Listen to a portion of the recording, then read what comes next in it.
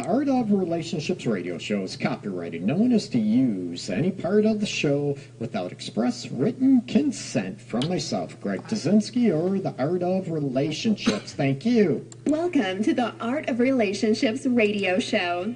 Greg welcomes live calls from listeners in helping with numerous marital and relationship problems. There will be no more tit for tat arguments. Greg gets to the root of couples' challenges in a rapid, matter of fact format, plus applies compassion and humor. Join in discovering how to improve your relationship and your own life. Listen, laugh, and climax. Greg is a licensed professional counselor in the state of Michigan. To others, he's simply known as Detroit's love guru. hey, people, welcome. This is the Art of Relationships radio show. I'm your host, as always, uh, Greg Dudzinski, Detroit's Love Guru.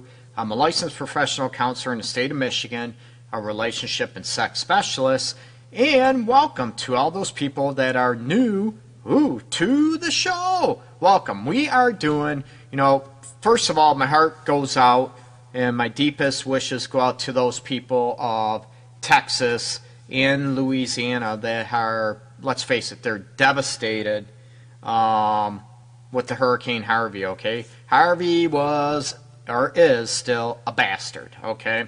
So my best wishes go out. I got uh, quite a few friends that are affected in the Houston, southern Texas area. So my best wishes to them, their family, their loved ones. And it's very difficult, you know, when we're sitting here in Michigan, we don't have to, um, you know, we we get maybe a little bit of rain, an inch. They're getting feet. Um, you know, we get snowstorms in the winter, whatever. They're devastated. Their houses, you know, they're swept away. So my heart, uh, deepest wishes, thoughts, and prayers go out to those people uh, affected by Hurricane Harvey, um, and also loved ones that have, you know, let's face it, family loved ones that are uh, down in Texas that are being in Louisiana that are being affected to everybody else. Okay, so this show tonight is dedicated to all those people down there. And we're going to be talking about, you know, talking about, you know, hurricane, not to be a downer or not to be so much of, um, you know, a bummer of a mood type aspect with the show because people, you know, know me. I love to laugh, joke around with during shows. But I want to talk about bad times, okay? I want to talk about how do you know everybody, you know, we talk about relationships when everything is going smooth, everything is going great, everything, you know, it's rocking and rolling, everything is fantastic. What happens in the bad times? And can you depend on your partner? Can you depend on your loved one to be there for you in times of crisis? Okay. So, you know, talking about would you just, hey, you know, peace out, I'm out of here, like Hurricane Harvey. You know what? You want to stay behind, I'm out of here, whatever. You know, what do you do and when do you decide to hold on to your own self? Meaning, you know, maybe your own values, your own mal- morals, and you're not going to sell those out but, you know, what happens when you're in a time of crisis, when the things don't go well? Say, you know, one of you is sick, you're diagnosed with cancer, maybe, you know, knock on wood, no one, you know, out there listening, you know, has, you know, MS or muscular dystrophy, and you come down with that, or lupus. You know, I get, you know, quite a few clients, you know, over the years that are, you know, women that are females diagnosed with lupus and you know maybe the progression of that disease you know would you be there would you be there for each other in those bad times and you know it's a very you know sort of gut check of a question and what would it take for you to be able to be there for your partner would you be there for them or you know what would you also would you want them to be there for you in those moments okay jessica glenda cynthia's in the house Welcome. Oh, Kim, welcome. Peace. So, you know, in those bad times, you look at, you know, you do a gut check. And, you know, we're, I was texting with uh, actually Cynthia earlier today. And I hope, you know, my we're talking about bad things. My best wishes go out to Cynthia and everything, too. So I hope you're feeling well, um, you know, after your ordeal yesterday. So, um, best wishes to you. So we are talking, you know, texting back and forth and looking at, you know, do you know you sit there and you know what i'm to be there i'm to be by my lover's side and then you know if the shit hits the fan will you be there? And how do you how do you work together during those bad times? Even you know the bad times can not only during a crisis like you know hurricane harvey you know or maybe you know one of you get sick. And i'm not talking the flu. We could talk about you know the flu the cold. Maybe you've had a surgery and you know you're depending on your partner to help out to be there for you. And they're like peace. I'm you know what? You're fine. You're in bed. I'm getting out of here. You know what you and you talk about you know the ordeal i'm talking about the level of trust that you have for each other that you're going to be able to be there for one another in good times and in bad okay? And that it has no bearing on being married okay people. This is about being in a committed relationship. Yeah you can tie it into a marriage aspect whatever too but in relationship dynamics you know if you're in a committed relationship can you trust your partner to be there through thick and thin? And another element is, you know what? Who decides what thick and thin is? You know what? Is it me? Is it, you know, you? Thick and thin is very subjective. And, you know, we're not talking about are you there no matter what if your partner, um, say, has an addiction. We could get on all those aspects too. Um, Amy talks about, Amy, welcome uh, mentioned about you know a crony there, and she's got Crohn's. You know, thanks for sharing that too. I knew that, but um, sharing it with the you know aspect. And does that partner really exist? Emily's in the house. We got a lot of people going on, so it's very very difficult and very challenging. You know, are you going to be there for one another? And are there limits? And can you sit there? You know what? No matter what, I'm going to be there for my partner. No matter if they're laid up in bed for three months. You know, fighting. You know, Maybe they've had to have a liver transplant plan or have a kidney dissected or removed. And these aspects, you know, we're hitting on, you know, illnesses and, you know, times of crisis. But we're going to, you know, later on in the show, we're going to go into during the bad times when you feel like you hate each other and without selling yourself out. So we're going to get into those dynamics as well. excuse me, the second half of the show, okay? James, welcome. Oh my God, we have not been here and yeah, I haven't seen you in a while. Welcome back. Um, James, you mentioned illness is actually the reason that a long distance best friend became much more and eventually my wife. You know what? That that's an interesting, you know, story. She was having difficulty with epilepsy, and this is a new one because epilepsy for people that don't know it, if you have severe epilepsy, you might be bound. You you cannot drive. They will, or they're supposed to, you know, revoke your driver's license where you're epilepsy, you know, epileptic free for, you know, I think each state is different. I know Michigan, it's a minimum of six months. Even I think they might even change it to a year where your episode, you know, ep- an epilepsy, epileptic, sorry, episode you're free for six months, and I think they changed it to a year. So imagine what the heck that would do to you um, in your lifestyle. And, you know, we talk about, I've mentioned this on numerous shows before. My biggest fear is being a burden on somebody else, okay? So, you know, what are you going to do to be that? So, you know? I moved 650 miles to come help her out. Shortly after, she asked me to never leave. Now, you know, are we looking at it? There's a point on wanting to be there in love. How many people would remain in those situations because out of obligation or that you actually love your partner? And it, this is a very subjective question, and it's not a right wrong type of situation. You know, we get into if somebody is addicted to heroin, addicted or alcoholic, you know, that type of aspect. You know what? How long would you stay, and should you stay? You know, the big deal, you know, death do us part type of aspect through the good times and bad times. What does that actually mean? And do you have boundaries what those should be? You know, a self-inflicted illness, like, um, you know, not even if some people, you know, even a illness type aspect, is it really an addiction? Is that an illness, or you know what? You just didn't stop yourself before it became an addiction. You know, we can throw that out there and go round and round with that aspect about, you know, is it a disease? Is it an illness? You know, somebody having epilepsy. You know, it wasn't their choice to have epilepsy. You know, we can, you know, cancer. We can get, you know, into a lot of other aspects. It wasn't something that you inflicted or wished upon yourself. Um, you know, Crohn's disease. That's something that, you know what, you did not, you know what, you're not doing anything to cause you to have Crohn's disease. You know, all these elements you look at, you know, so we can, maybe that'll be another show, addiction. Is it an illness? Is it a choice? You know, and I get stresses. I get life stresses, horrific ordeals and traumas throughout your life, you know, could definitely lead to an addiction. I get that. I'm not saying that. But you look at are there other elements and maybe you don't think there are and it just becomes an addiction, that type of aspect. But you look at um, not just weather or sickness, but jail or rehab. Ooh, Kim, this is a good point. And do you look at, you know, through good times and bad times, when you mention, um, you know, when you mention that aspect that you, oh, Sophia, thank you, seizure free for six months to drive.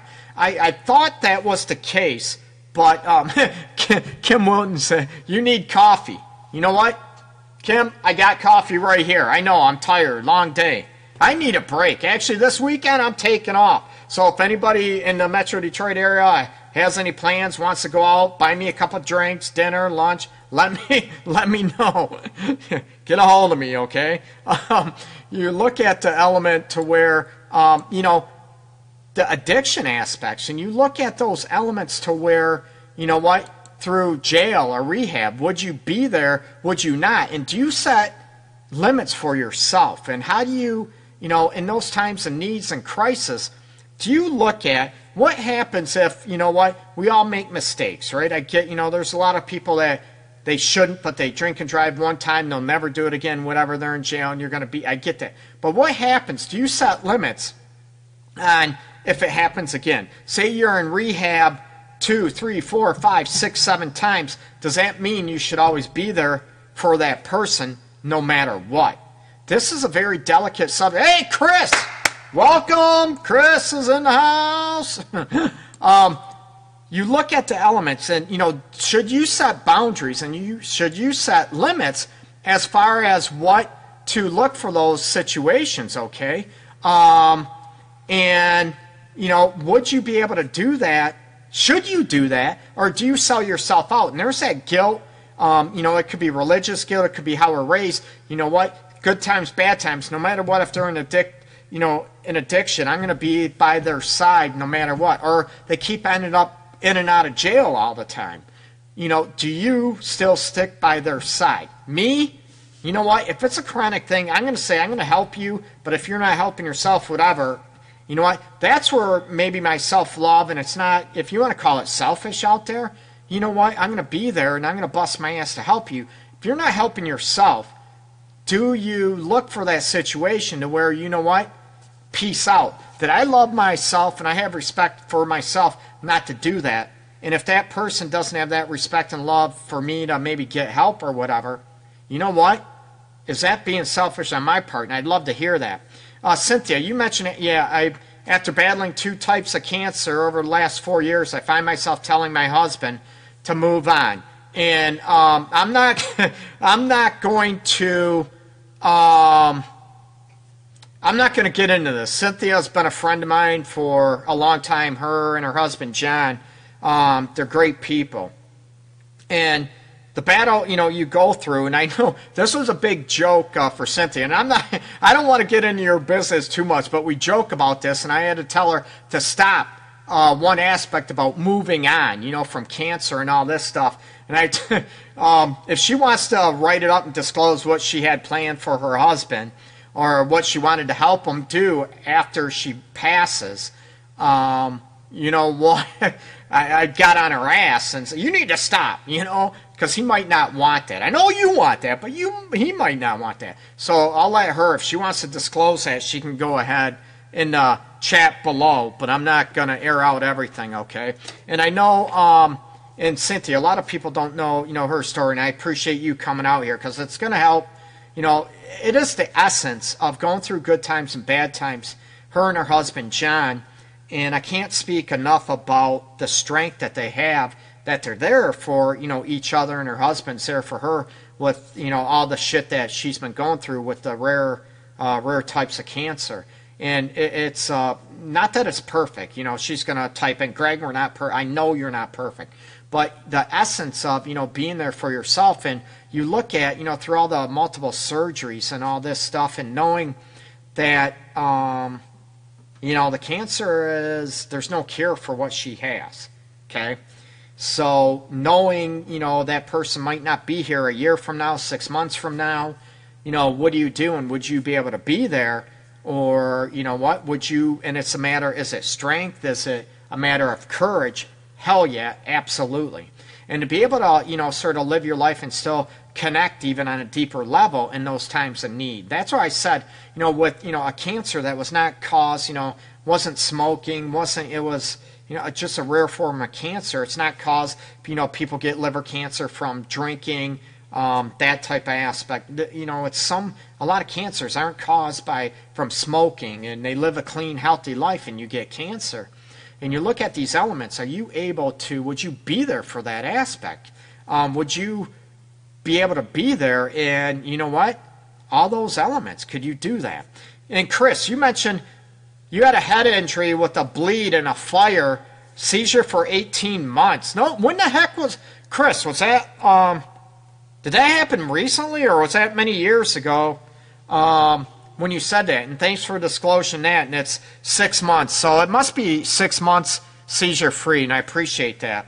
So um, you look at the element to where you know, would you be there? And say someone was in a fire. You know, we we get all these aspects, and are you able to be in a fire, the situation to where you know what? Would you be with somebody after if they had third degree burns and their face was deformed and those type of aspects. And this is a gut check that you look at the elements to where, you know what, during the bad times would you be there? Or, you know, they have maybe both their legs amputated or, you know, those type from an illness, whatever. Uh, diabetes aspects. Sometimes they have to have, you know, amputations, unfortunately, because diabetes got out of the hand. Maybe they didn't take care of themselves or it just was you know, a quick onset of the diabetes just kicked in and took over, and there was nothing that they could do. So it's very difficult. And would you be able to be there with that person or not? So, uh, Kim, you mentioned the after part is what me and mine are having a hard time with. I handle a lot of his things, and adjustment to, you know, after is what we're having a hard time with. Trying to get back to the basics. And part of, you know, the basics, when you're talking um, depending on the situation, you know, you get not only the fear that maybe if someone has an addiction or whatever or cancer, the biggest fear is is it going to come back or you know relapse, right? And it's you know you could use the word relapse in cancer. You can use relapse in addictions, big time, which happens a lot. So you know the big fear is you work on this, and I'm glad you brought this up, Kim. That you know uh, the big fear is I think everyone is walking on eggshells to see if this is going to happen. I don't want to think, you know, cancer, we're, you know, in remission, everything's great, everything, woohoo, no more cancer. And all of a sudden, in the back of your head, or maybe not even in the back of your head, it's right here up front, you're wondering and you're walking on eggshells thinking what happens if it comes back. So are you willing you cut off your emotions, right? Do you desensitize your emotion and your love for a person because let's face it, it hurts. It it you know maybe rips you apart for you seeing your loved one struggle and also what you deal with. Not, you know, when somebody is sick or addiction, you have kids and all these aspects. You know, you might have one person doing everything. And, you know, grocery shopping, cooking, laundry, household chores, all these aspects. It, people don't look at these elements to where, um, you know, that goes into this. You know, and you know, would you be willing to hang on there? Are you doing that? And is it selfish not to? And I know, you know, Cynthia talking about Cynthia and you know her bout with cancer. You look at now, Cynthia is, um, she's got a huge heart. She's stubborn as hell she knows that, and she's okay with me saying it. She's stubborn as hell, and um, she, you know, hates sitting still. Always wants to be busy. Always has these goals that she wants to accomplish. So, you know, are you able? You know, everybody is different. Some people will, you know, fall down and you know i don't want to you know the victim role but they'll feel sorry for themselves it's hard it's hard not to and just be afraid to do anything okay so you look at it, would you be there for that person? What would you do to care for them? And, you know, you're thinking, oh, it's a week, two weeks, it might not be bad. But what happens in the bad times if it happens to be three months, six months? What if it's, you know, unfortunately, they're diagnosed, you know, with MS, whatever, and they're bound in a wheelchair and, you know, they can't take care of themselves that well? What, you know, what would you do? And it's very difficult. You can sit there and say this, people. I can even say this because you look at, you know, I'm going to be there no matter what. And then you start doing it. And all of a sudden, you know, that one week turns into one month, turns into six months, maybe a year. And would you be able to do that? And I, you know, mentioned about the burn aspects and the disfigurations. You know, it, it's hard. It's very difficult. And I'm not, I don't judge anybody. Um, you know, sometimes maybe because of what I've done for all these years, I see, you know, different compassions and different limits that people have. And is it right? Is it wrong? Is it bad? Or is it just, you know what? You get it and you understand it. Not that you have to like it, okay? So go on. Uh, James, you mentioned uh, the most common and trying testing illness I know of is anxiety. You know what, James? Um, this is, I'm to this causes a lot of relationship issues. Um, I, I, I, absolutely, the anxiety causes a lot of issues. Whatever. Often things done or said are pervasive actions, but for most, human nature is to think it's what the sufferer is saying or doing. You know what? That's great, James. That's a great point. Despite it's not being within their control, it's seldom brought up with relationship professionals. But James, I'm going to tell you, this is awesome that you're bringing it up. Anxiety, I deal with anxiety a lot with my clients, okay? He has severe anxiety. Um, she has maybe severe anxiety, and it sets in with paranoia, not only, you know, in it when they have kids, or, you know, the anxiety sets in with the kids getting hurt. And you talk about the helicopter pilot or the anxiety that, you know, creates about self esteem and, you know, the paranoia about the anxiety with body image issues and, you know, the cheating aspect or afraid to socialize, afraid it affects everybody and it, it's very, very difficult. And you look to the, you know, to the partner and you look at, okay, how much I get that they're there and what do you do for it? So you're right. I think a lot of people, relationship professionals, not me, um, I look at the effects and how can you soothe that and how can you be there a team together. Now, can you fight the anxiety together as a team?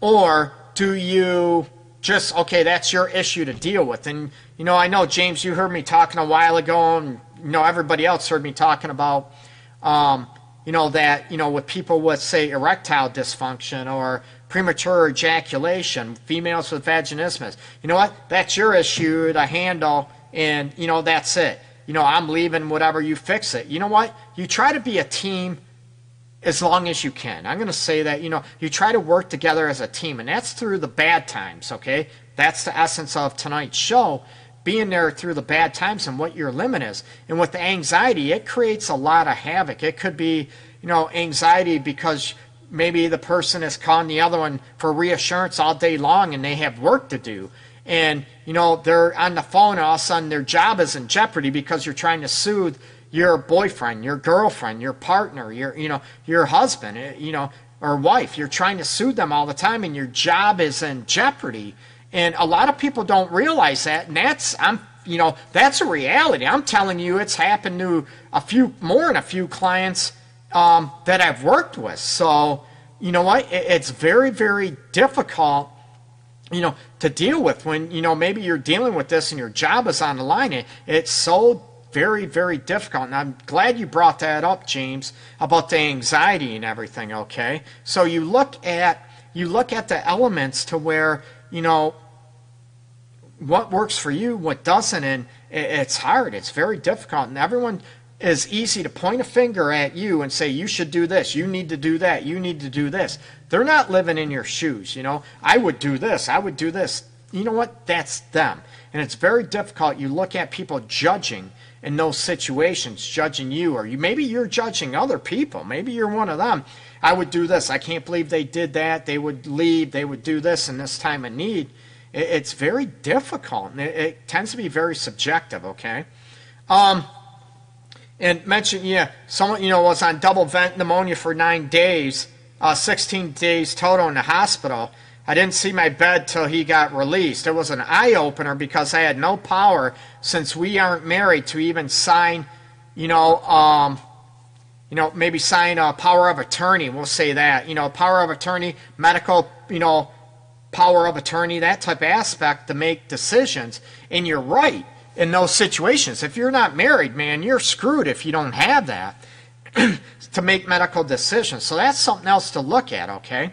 And the elements you, you need to look at to where, you know, how much do you do? And what happens, you know, you look there and you expect your per partner, right, to be there for you. You know, you've been through them battling with cancer or surgeries or sicknesses, illness, you all that, and then you get sick and you find out they're like, peace out, I'm out of here. And you're like, damn, what the hell? I busted my ass, I'm there for you, but you're not there for me. And this is where you maybe you learn a lesson and you look at, you know what? I'm not going to be there anymore. I want somebody that's going to be there for me, and it's not just one sided. Got it? And are you able to do that, or are you? Do you have a you know a huge bleeding heart? No matter what, you're going to be there. But when they're there for you, what do you do? They're not there, right? They have excuses. They're this. They're that. Whatever. Okay. The excuses start flying. Then you feel you're not important. You get pissed off. Whatever. But then guess what? Maybe you get through that. Then something else happens, and again, they're not there for you. And now what do you do? Right? Should you stay in that environment? I'm going to say that's your decision, not mine to make. That is your decision. And one thing I'm going to tell you if you bitch and complain that they're never there for you and you're still staying in that environment, then you need to stop complaining about that or maybe do something about that, okay? It's again, it's not easy. I get that. But it gives you a little perspective about what's going on and how much control or power you have within yourself and about self-respect and self love, okay? Um, Natalia mentioned, yes, I agree. They need us. I was with my mother till her last breath. You know what? This this is another. You know, it, it's very difficult. And you look at um, when we have loved ones. You know, it, you know, aging parents, and maybe they're in and out of the hospital, nursing home. They're in hospice, and I had an aunt that um, took care of her her father, her and her brother, for like five to seven years. She would spend a week there, her brother would spend a week. They would go back and forth for five to seven years like this for their dad. And you look at how much you can be there for a lot and you get that, but what do you do and how much does that affect maybe if you're a parent raising your kids? Um, you know, what's that do for your marriage and your relationship? It's it, it, it's a delicate balance, people. It's we're always supposed to be there for our loved ones, but do we set boundaries? Do we, you know, what do we do? And it, it's very difficult. You, you know, it's one of those things. You know, you have a bleeding heart because they're caring for their loved one, but yet then you feel you, you can understand that, but then you start feeling neglected, alone, whatever, not a priority. You understand it, but then maybe after a certain amount of time, six months, a year, whatever, you know, what starts happening, okay? Um, Emily, you mentioned um, it is difficult. That isn't, you know, it, it is difficult. It understood to be a caregiver as well. I am a nurse as well, so know both sides of the fences. Emily, that's a great perspective, and it's difficult because we can step back and look at even me from clients, you know, whatever. With me, I get attached to my clients, okay? I care. I care about people. I care about my clients, the people I help, um, well, people in general, and I'm invested, okay? It's not just a business for me. I actually care, okay? So, you know, I can still step back from that emotionally, and we look at, you know, we I ask myself, and maybe you do too, Emily, since you're a nurse, you know what? Damn, what would I do in this situation? You know, would I be putting up with this? Would I, you know, we ask ourselves all these questions, or maybe we should, because maybe some people don't. And it puts a very, very difficult perspective in, you know, when we're there, when we see it, versus, you know, from the outside versus when we're living it. So it's very, very difficult, okay? So, you know, as far as judging those situations and what's bad, what do you do, what do you tolerate, it's not easy, people, not at all, okay? Oh, I forgot. You can also give me a call it's in the header above, but I forgot. Uh, 313 614 9498. And you can put your comments in, uh, you know, below too. Um, Susan's in the house. uh, another longtime friend, uh, her and her husband. I'm fortunate to have a husband who is there for me. You don't have to lie about him, Susan. Not at all. I'm joking. I hope he's listening with you. I know he might be working. Um, and vice versa. That's what marriage is. Taking care of your loved ones. You know, yes, it would be hard, but that's marriage. And you know what? That's a great perspective, Susan. You both are there for each other. It's not just say, you know, your husband is, you know, never there for you, but you're always there for him. It isn't because you're, you know, you guys, you're there for each other. You have each other's backs and, you know, I've witnessed it over, oh my God, how many years has it been now? Um, but it's, you know, I've witnessed it that you guys work as a team and you're there for each other. And that, that makes a big difference. The, the heartache and the problem is when one person isn't there, you want to call it being selfish or it's all about them. You know, it's almost like they get sick, they're the baby and they want to be taken care of, but you're sick, you're on your own. And those type of relationships or marriages – they're going to run into problems if, you know what, that's going to be a big reason that, you know what, that marriage or that relationship isn't going to last. So I agree. The big thing is that you both have to be there for each other, okay? And again, you know, you have to do a gut check as far as what is enough for you. And we can, you know, we can get into a debate about, you know, addiction, you know, being, you know, alcoholic, being, um, you know, a heroin addict or a crack addict or whatever, okay? Maybe even a prescription drug. That's a huge epidemic throughout the whole country.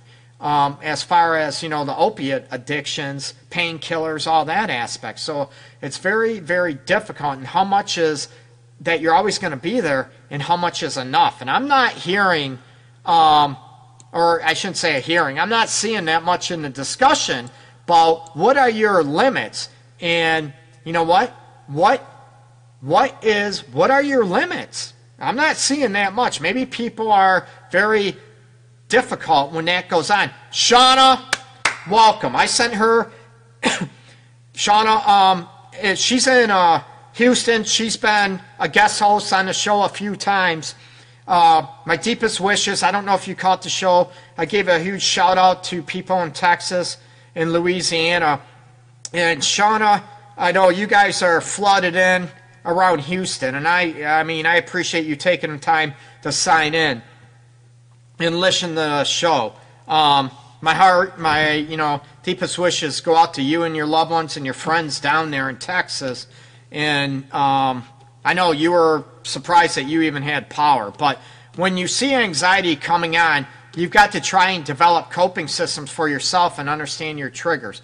Sean, you're absolutely right. And this is where, and I mentioned, I know you might have just caught on um, or just tuned in with the show, but this is where you want to not only those coping mechanisms, but can your partner help you with them? Like I said earlier, can you be a team and work on the anxiety as a team instead of leaving, say, if you have anxiety, I have anxiety, you know what, I feel like I'm all alone with this and I don't have help and I have to do this alone. We all know it takes a lot of work to, you know, deal with anxiety. And I'm glad James brought this up earlier.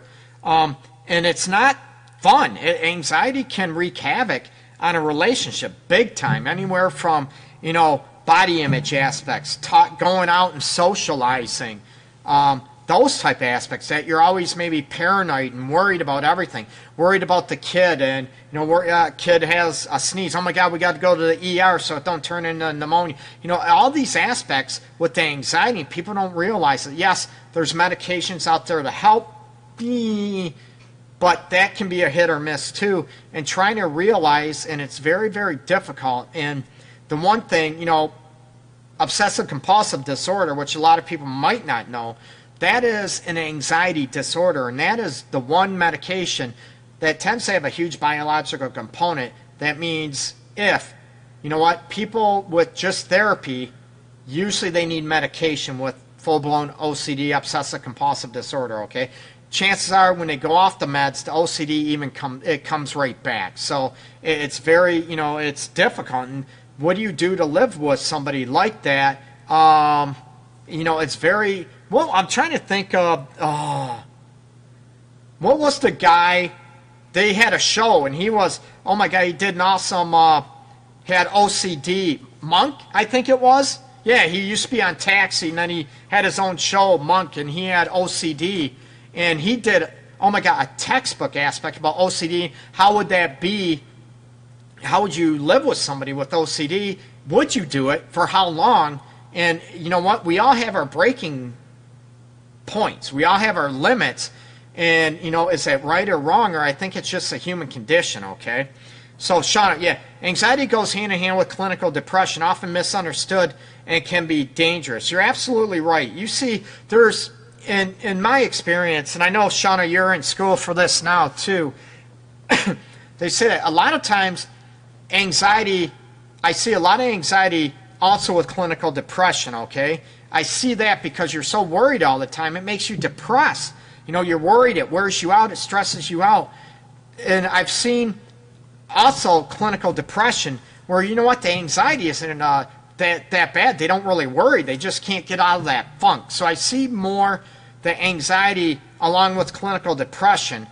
I don't see, you know, I, st- I do see clinical depression with anxiety type aspect, but I also, you have to be careful. I also see a lot of maybe clinical depression where know, they stop caring about anything. They don't worry about anything. They're just depressed. Their motivation is just done. It's, you know, their motivation is killed. They have no motivation and trying to you know help somebody with that can be very very difficult so you guys brought up some freaking great aspects i appreciate your feedback it help makes for a great show so thank you so much um, james you brought I, you mentioned excuse me um, i admit to being a hypocrite well thanks for putting that out there i don't want to become extra work, a burden or inconvenience to anybody. I'm, you know, you heard me say that too, James. But I refuse to not be there for family, friends, or especially my wife or any kids if they are ever sick or injured.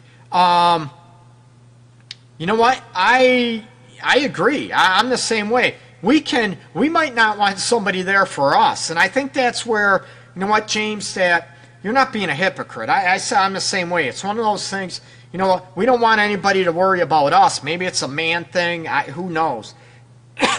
but I don't want anyone to worry about me. I don't want to be a burden on anybody else, but I want to be there for my loved ones too.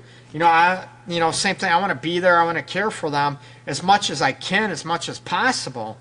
Um, and you know, life and work and bills. You know, it's hard. It's not easy you know, balancing everything. So I, am all about that. So I, it's not really you being a hypocrite.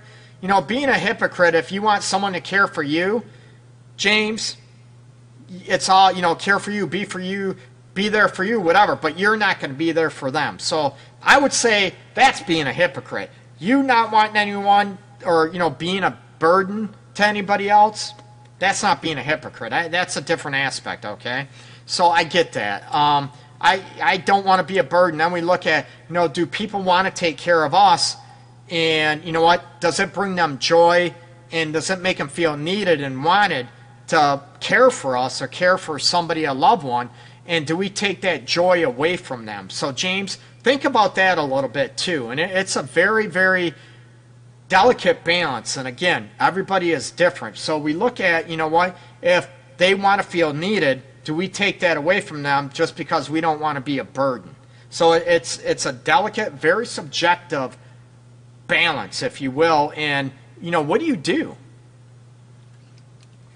Sorry, as you can tell, I'm not taking a break tonight. Needed a drink of water. Um, and you look at um, oh, Rain Man. As far as with uh, Rain Man with autism, you brought up a great point, Emily. Um, you know, he had severe autism with Rain Man, and um, to look for that. So that that's you know that's huge. And James, you mentioned learning and research helps to more fully understand. Understanding is being armed and prepared to better deal with it without making it worse. Then both can be more effectively develop skills to get through the anxiety. You know what? Well said, James. Um, you know what? I get that, and that, that's with anything. That's this with this with performance anxieties. Um, you know, well, talk about anxieties. You know, erectile dysfunction can be an anxiety if it's not a you know caused by medical problems or medication. Um, premature ejaculations. It's a performance anxiety. So there's, you're right. There's a lot of things that disrupt with anxiety. A lot of people take it for granted. They don't look at anxiety causing problems unless they're dealing with anxiety or, you know, they're dealing with somebody, a loved one, their partner, that, you know what, damn, they have anxiety. And do we feed into that or, you know, and making it worse? Or can we help with that situation? That doesn't mean they have anxiety that we should be disrespected or their anxiety has them get angry all the time at us and call us names and everything else. But you know what? We can't stick up for ourselves. That's not right either. It's a give and take and it's a balancing to be able to look at the situation where, you know what? You know what? I'm going to stand up for myself and there's nothing wrong with that. It's a, again, I want people to be able to have self respect and self love even if they're caring for their loved ones or you know dealing with anxiety or in bad times you still got a right to command respect to command love right and not to be dogged out or treated like crap because of a certain situation yes the stress of an illness and losing our temper that happens we can understand that however can we work on those aspects and be able to look at it. You know what? I'm not going to tolerate you talking to me. I know you have cancer. I know the anxiety. I'm here for you. But you're not going to treat me this way. There's nothing wrong with that. And that is not, oh, you're being selfish. You don't care about me. And they'll flip the script on you. No. You know what? I understand that, but you're not going to manipulate me because of that. I love you and I'm here for you. However, you're not going to treat me like shit. Okay? Um, so it's a very, very big um, very, you know, it, it, it's not easy. Okay. Uh, Amy, you mentioned addiction and jail for a felony or compulsive jail time is my limit. Face tattoos wouldn't even get my number. You know what? I'm, Amy, I'm glad I don't have any face tattoos. No, you know everybody's got their thing. Some people are attracted to face tattoos. You know what? That that's okay. Um, an addiction or in Jail for a felony or compulsive jail time is my limit. I have my own limits. We all should have our own limits.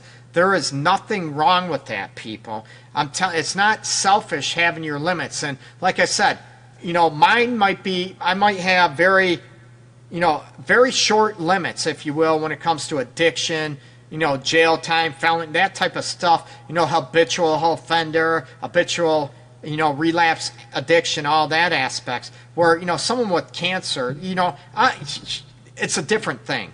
And you know what? You can call me a hypocrite. James threw him out there. You know, maybe I'm being a hypocrite. No, not at all. We all should have our standards and our limitations about, you know, what we're going to deal with and what we're not going to deal with. And is it self inflicted versus something out of our lover's control?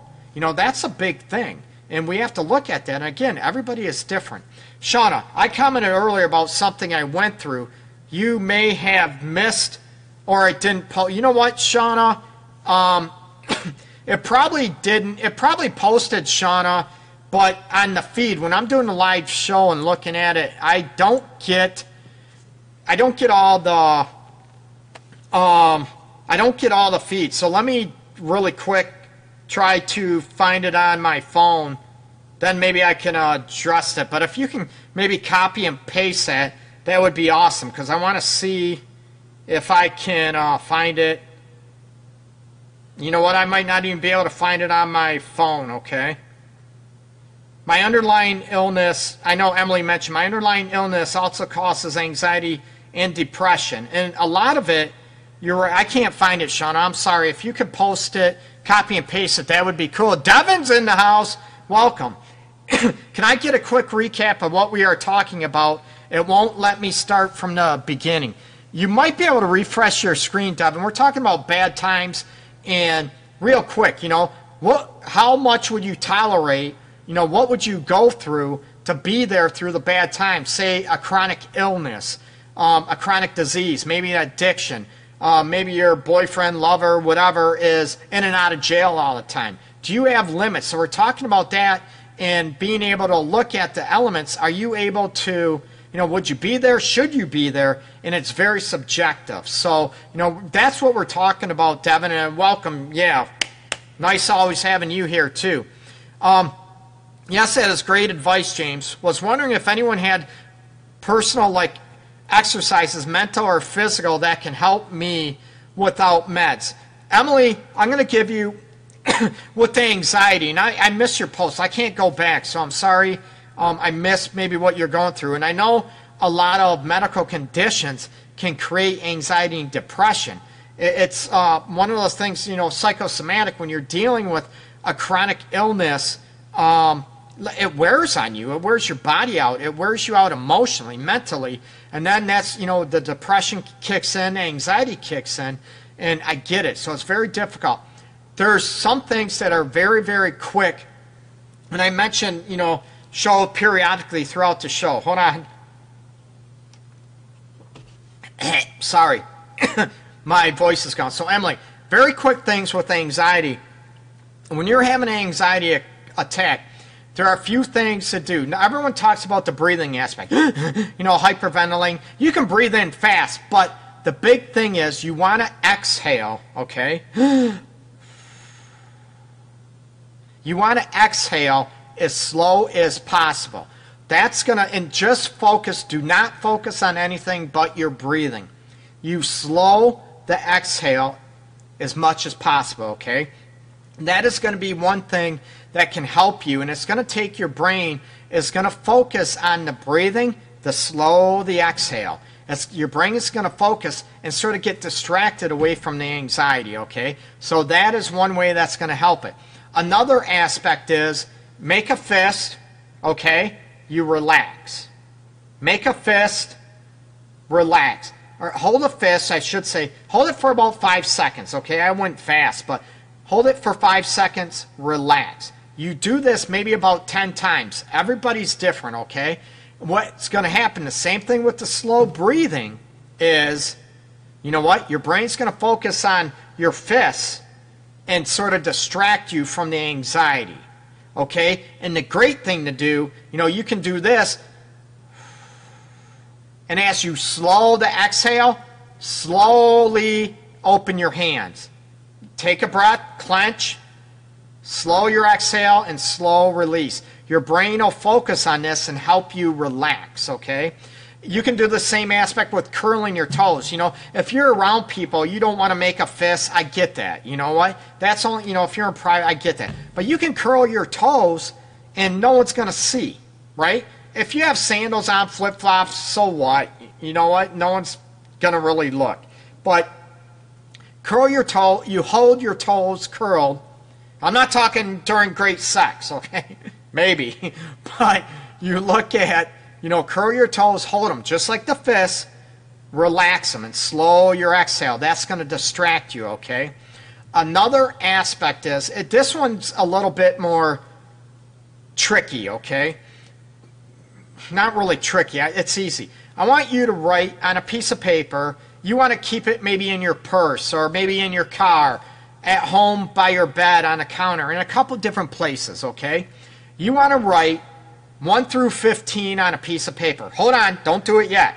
But you want to write 1 to 15, write them in a whole bunch of abstract order. Do not write 1, 2, 3. Write them, you know, write 3, 11, 8, you know, 15, 1. Write them in a whole bunch of or, different orders, okay? Have those papers near you because when you go into an, you know a panic attack or uh, anxiety attack, you know, get very your brain again. It has a hard time. It wants to put those in order. So it's going to focus on putting them in order. And when you put them in all order, your brain is going to focus on trying to focus on those numbers, okay? So what happens? It distracts again from the anxiety. Those are maybe, you know, three or four quick little things that can help you decrease the panic and decrease the anxiety, okay? Those are some quick things that can help with that. Remember, slow the exhale, the fists, relax, the toes, the same thing. and the numbers, you know, 1 to 15. You can do 1 to 10, 1 to 20, but just write them in a whole bunch of different orders. Don't write them in order, okay? Because your brain's going to focus and remember them. You want to write them in different order so it tricks your brain into, wait a minute, this is this isn't right. It's going to distract your brain from the anxiety and help you calm down a little bit, okay? Um, Cynthia, you mentioned that is very true, James. We see so many people being improperly diagnosed or diagnosed with one condition when there is often another condition that goes along with it. Cynthia, you are absolutely correct, and I agree. And Shauna brought this up earlier, and Emily too, which has been awesome. That you know, a medical condition, um, you know, diabetes, high blood pressure can create a lot of problems, right? Your thyroid aspect can create a lot of issues. We want to get to underlying issues, and unfortunately, you know, there's a lot of people, and James mentioned, you know, relationship therapists. There's a lot of people in this field, counselor, that don't even look at other possibilities. It's just a mental, a psychological thing. They don't look at it could be something else causing it, okay? So, James, you brought that up. Emily did as well. Shauna, Cynthia. Absolutely, and I know, and I know Cynthia knows me, and you know whatever. Um, you know, she. I'm always looking at other other medical issues. If it's a medical issue, I want that taken care of. That you know, and then maybe you don't have to come and see me. Maybe that's an issue. Maybe it's testosterone levels. Maybe your th- thyroid's out of whack. Maybe your um, estrogen levels are whacked. You know, maybe something else is going on that is causing your anxiety symptoms. Thyroid, oh my God, thyroid and sugar issues, you know, blood pressure issues can create a lot of issues that mask anxiety, depression. So I always ask people, you know, if they're doing this, when was the last time you had blood work done? Oh my God, Greg, I'm sick of needles. I don't want needles. So you look at those, you know, it's one of those things that, you know what, we want to rule out any medical complications because if it's medical, and no matter how much I try to help you in counseling and therapy, um, it might not help you because it's a medical issue. So it's very, very crucial. We need to rule out anything that is um, that could be a medical complication that is breathing in. Um, you know, breathing in. I'm looking at James Pulse. I'm sorry. So you're looking at those elements to look at you know what? It could be a medical problem causing anxiety, the depression. So I want to rule out any medical complications because, like I said, no matter how good I am, I'm bragging. No, I'm very humble. Um, you know what? I want to. If if it's a medical condition, we can get that taken care of. You get that taken care of. Maybe therapy isn't needed. Okay. I know I'm a bad business person, but I'd rather have you live your life. And you know what? like I said, you can go through therapy and all of a sudden it's a medical condition and you're still dealing with the aspect for, heaven forbid, three months, six months. I, I know people for a year and you find out it's a damn medical condition. And that's where the therapist should be, let's face it, hit over the head because you need to look at those aspects. And unfortunately, a lot of people don't or they want the money, and which is unethical, okay? I want what's best for you out there, so I want to look at all those aspects, okay? Um, so, um, Shauna, you mentioned what's that? I hopefully I just co- covered all those aspects, and I mentioned about you bringing up they can be caused by you know medical problems or underlying other issues causing uh, anxiety and uh, depression. So that's why I threw your name out there, um, along with uh, Emily and James and Cynthia, you know, Sophia and everything else that you know you're talking about. And I know it's very difficult um, that you go through this. Um, Shauna Marie, uh, too often a person is not uh, that at that point where they are able to cognitively intervene in their own anxiety. J- you're absolutely right, James. But for any who are, if not already doing so, try looking up called cognitive mindfulness. Several people I know, James, you're right. Cognitive mindfulness um, is a huge thing. And mindfulness, believe it or not, has been around for years. It's been around for 20, 30 years, mindfulness, and it's getting renamed, and they're putting it with the cognitive aspect. And as Shauna knows, Cynthia knows, a lot of people know, um, I'm not a huge my theoretical, counseling theoretical, psychological theoretical is experiential, existential, okay? I throw it out there. However, do I use cognitive strategies, behavioral strategies? You have to do something to make a change, right? I'm all for that. But I'm huge on our emotions, our feelings. If we don't feel a certain way within us, in our heart, in our soul, in our gut instinct, if we don't feel that, chances are it's not going to last. So the anxiety is going to, it's the anxiety coming, uh, you know, in essence of us being insecure with whatever. Okay, we were maybe raped, we were sexually abused. So the anxiety comes up because we feel, you know, we're not good enough, that we're a piece of meat, we're not worthy. All those those feelings inside of us, and yes, the kind of mindfulness, as James said, it does help. It is very, it does help a lot. But the mindfulness is almost like being aware. It's almost like a self meditation aspect, and that comes with the breathing aspect I mentioned. The same aspect with, uh, you know, making a fist and all that aspect. So James, thanks for bringing that up. And no, that's huge. And I, you know, I want whatever works for people. Okay. Um, what I do, you know, apply whatever help people might. It's not going to work for everybody, but you know, you have to do what works. Um, you know what? What works for you and what works. And you're going to have some counselors out there, therapy. Yeah, I'm throwing a lot of us under the bus that, you know what? This is all they do. And you know what? Damn it. You are going to use what I'm teaching you, no matter if it works for you or not. And if you don't, if it don't work for you, then you're wrong. Then you're a client that is, oh my God, reluctant, right? Reluctant to treatment. You know what? They're, you're not working as hard. Maybe that treatment orientation doesn't work for you oh boy, we're getting all over the task about going through, you know, so think about, you know, what's good, what's bad, and all the, those aspects, okay? Sabrina, you mentioned I got too attached when they would die. You know, it affected me too much. Oh, it's hard. And, you know, you know, if people, hospice nurses, um, I give them a world of credit, not only hospice nurses, hospice workers, and people, you know, nursing homes, getting attached to people um, and, you know, let's face it, a lot of older people, they die in nursing homes. So you get attached and it's hard. It's very difficult. And I don't want people to get so desensitized where they stop caring. So I'm going to say goodnight. Thank you for viewing, listening, excuse me, to the show. People listening for the first time, I definitely appreciate it. Um, but look about, you know, it's very subjective. It's not a right or wrong. You know what? my my thing about in bad times is you know what you need to be a partner and you know susan mentioned her and her husband and i know this for a fact they have each other's back. They're there for each other. The problem is if you're there for your partner and your partner is never there for you you know what? Maybe you're in the wrong relationship. I'm going to be blunt about that. Maybe your partner needs to get kicked in the ass you know what? Or maybe that's they're being selfish or maybe there's anxiety about being there for you. They can't handle it emotionally. See, it, maybe I look at why aren't they there for you? Because emotionally they can't handle it.